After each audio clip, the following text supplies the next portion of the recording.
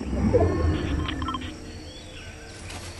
cross-reference this data with our existing recon database.